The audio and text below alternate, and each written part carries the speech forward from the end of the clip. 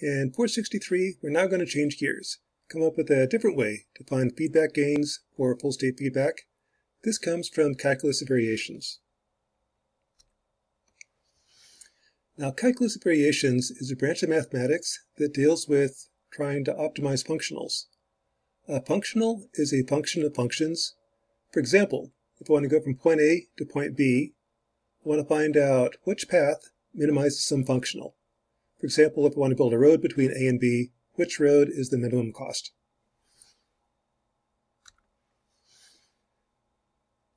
If the function or the path is optimal, what that means is any deviation in the path, which is n, will result in a higher cost.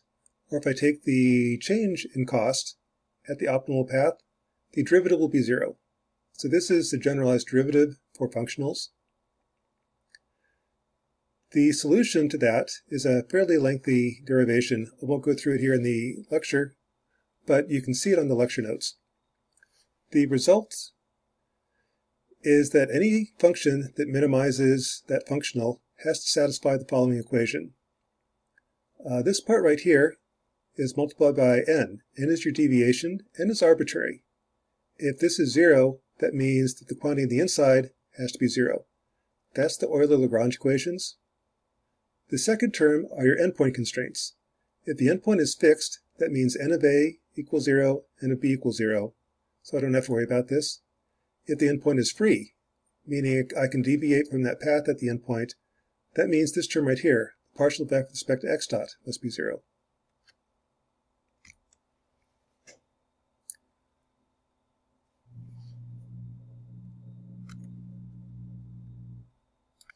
So with the Euler-Lagrange equation and your endpoint constraints, I can find a function that minimizes some functional.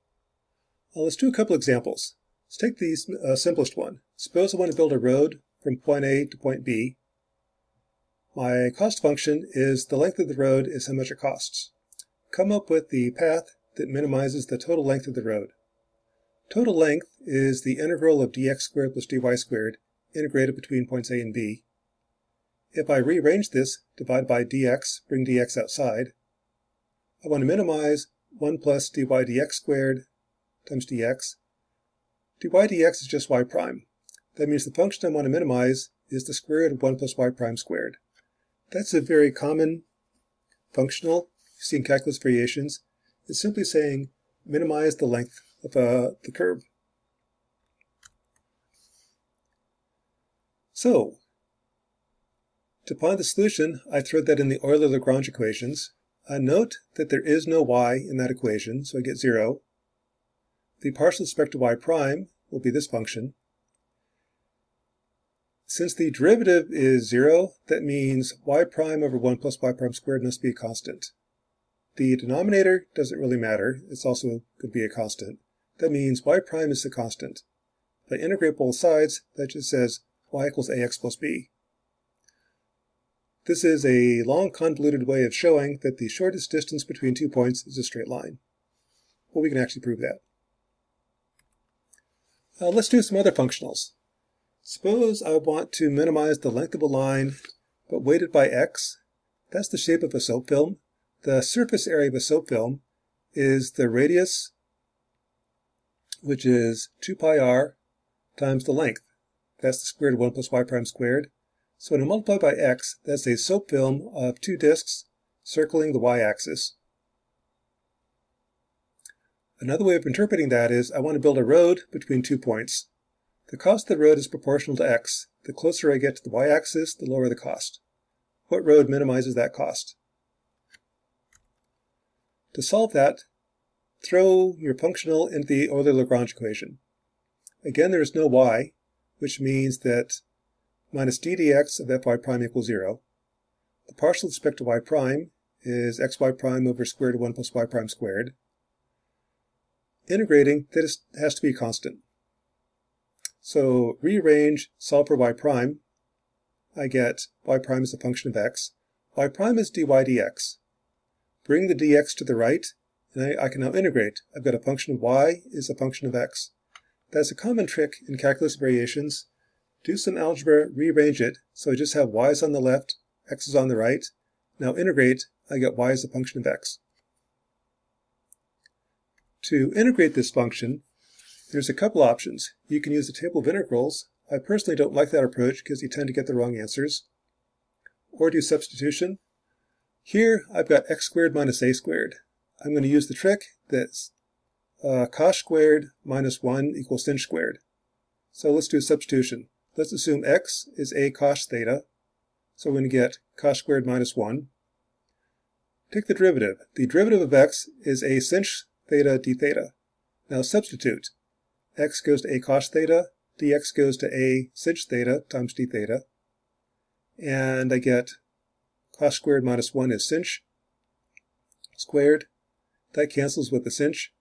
And I wind up with y is just the integral of a d theta, which is a times theta plus b. Now back substitute. Theta is a function of x. And solve backwards. x is a function of y. This is the shape of a soap film that circles the y-axis. If you prefer soap films that circle the x-axis, which is kind of my preference, just uh, swap x and y, do a change in variable. So this is the shape of a soap film that circles the x-axis. Now, if I plug in the endpoint constraints, like I've got a, a disk of radius 5 at 0, a disk of radius 5 at 5, what's the shape of the soap film? Plug in the two endpoints. At the left endpoint, I've got y of 0 is 5, x is 0. At the right endpoint, y of 5 is 5, when x is 5.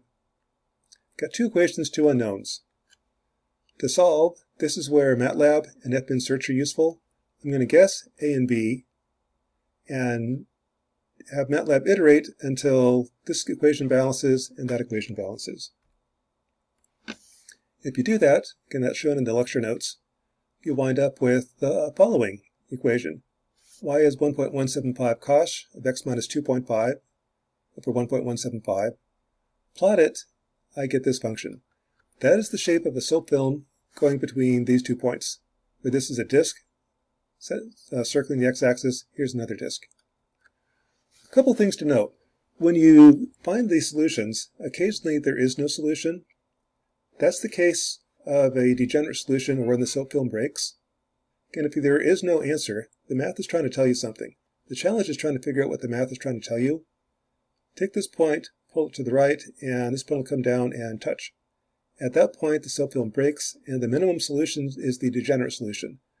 Form a soap film around the first ring, a line going to the second one, a soap film around the second ring.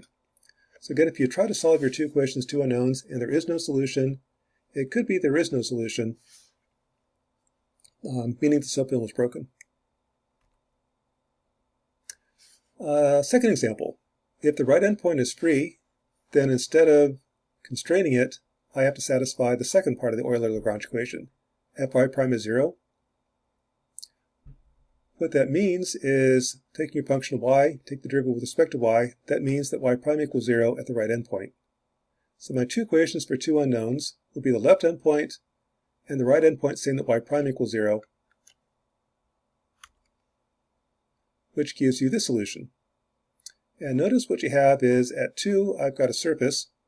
The soap film has to be perpendicular to the surface at the boundary condition. What it looks like is there's a mirror image of the soap film to the right, um, resulting in the zero slope. So that's the shape of a soap film with the right endpoint free to move along the line x equals 2.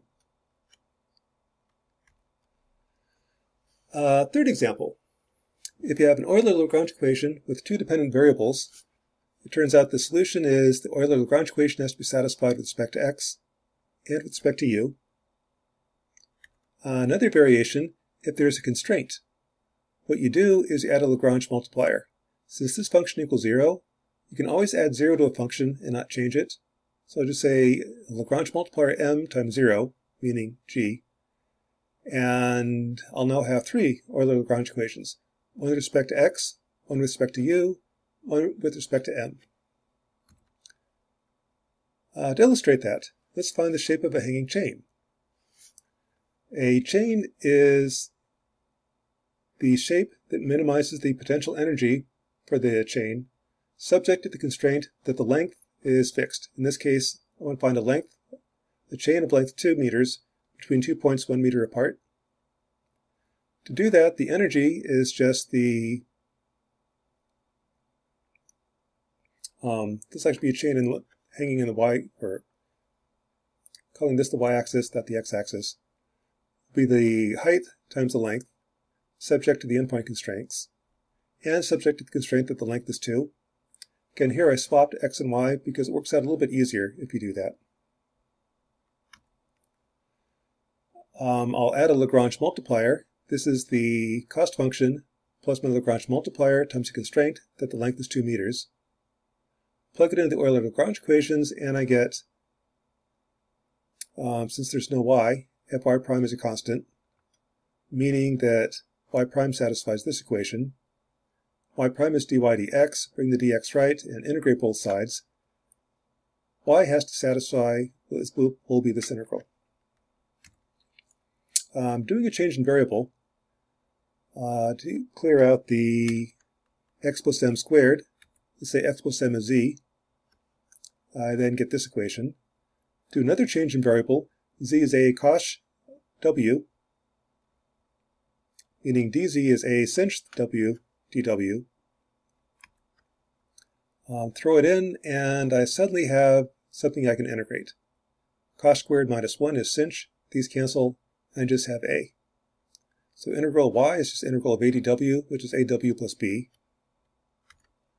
Now going backwards, substituting to get z, substituting to get x. This is the generalized form of a hanging chain where gravity is in the minus x direction.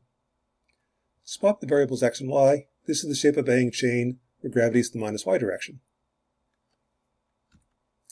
Plugging in the endpoint constraints, at the left endpoint I'm at 0, 1. When x is 1, y is 1, and the length is 2 meters, meaning this has to be satisfied. Throw that in MATLAB, meaning I'm going to guess A, B, and M.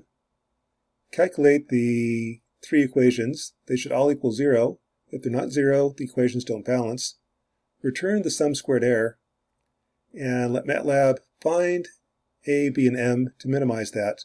And with fminsearch, it'll find the answer. What that means is this is the shape of a hanging chain going between a blank 2 going between two points 1 meter apart. With that, you can probably solve the first couple problems on the homework. That's calculus of variation. In our next lecture, we'll look at how do you apply that to feedback control, finding feedback gains.